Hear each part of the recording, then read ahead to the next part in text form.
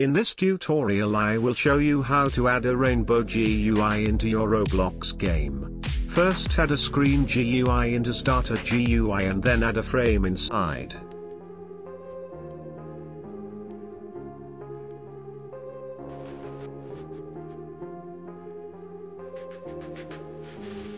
Then inside the frame add a local script and follow along.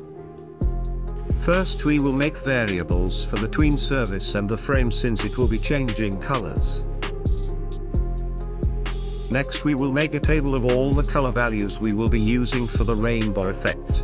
You don't have to make it rainbow you can add whatever colors you want in whatever order you want. Next we are going to be adding the loop. Make these variables that pick the color and access the tween service. Make the tween play and set the next index. Once you've finished that we can test. As you can see the tweening works. I hope you guys enjoyed this tutorial let me know your ideas in the comments below. Make sure to like and subscribe and I will see you in the next video.